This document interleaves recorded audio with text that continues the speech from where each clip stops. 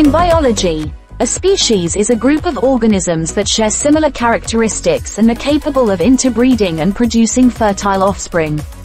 In the context of the ocean, a species refers to any type of organism that lives in or depends on the marine environment, such as fish, whales, sharks, dolphins, sea turtles, corals, mollusks, crustaceans, and many others. The ocean is home to an incredibly diverse array of species, many of which have yet to be discovered or fully understood. Do you know how many species live in the ocean today? What was this amount in the past and what will be in the future? In this video, we answer these questions. Estimating the total number of species in the ocean is a difficult task, as new species are constantly being discovered and many may still be unknown to science. However, Scientists have made several attempts to estimate the total number of marine species based on available data. Since the beginning of the 20th century, scientists have discovered many new marine species, and our understanding of the diversity of life in the ocean has increased significantly. For example, the Census of Marine Life, a global effort to document marine biodiversity that took place between 2000 and 2010, documented over 1,200 new species and identified more than 5,000 new species in collections that had not been previously studied. One widely cited estimate comes from a study published in the journal, PLOS Biology, in 2011, which estimated that there were approximately 1 million species in the ocean. However, this estimate came with a large degree of uncertainty, and the actual number could be much higher or lower. More recently, a study published in the journal, Nature, in 2020 used a different method to estimate the total number of marine species.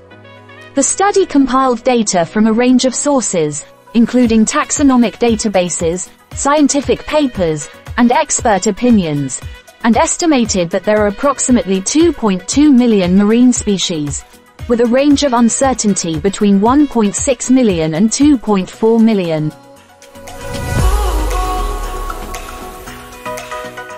It's worth noting that these estimates are just that, estimates, and the true number of marine species is likely to remain uncertain for some time.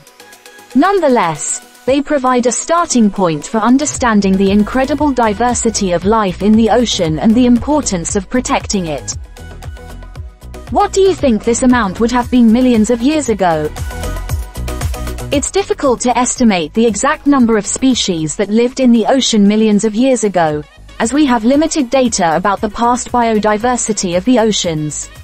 However, we do know that the ocean has undergone significant changes over the past millennium, including the impacts of climate change, overfishing, and pollution, which have likely affected the number and distribution of species. One study published in the journal, Science Advances, in 2017 used a combination of fossil records and genetic data to estimate the number of marine species that existed during the late Quaternary period, which encompasses the past 2.6 million years.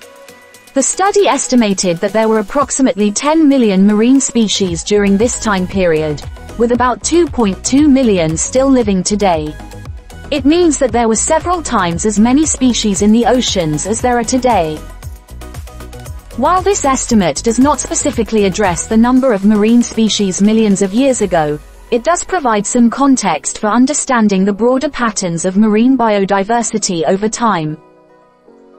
An important question that arises is how the number of ocean species will change by the end of this century. What do you think? Estimating the number of species that will live in the ocean in the future is difficult because it depends on many factors, including climate change and pollution. However, scientists have made projections about how these factors may affect marine biodiversity. One study published in the journal, Science Advances, in 2015 used climate models to project how climate change could affect marine biodiversity in the future. The study estimated that, under a high greenhouse gas emissions scenario, ocean temperatures could rise by 3.5 degrees Celsius by 2100, leading to a decline in marine biodiversity of up to 17% compared to current levels. In other words, approximately 1 in 5 current species will disappear in the next 80 years. Consequently, species in the ocean are declining, and this is due to human actions, to our demands for more from our portion of the ocean. This is a sad story,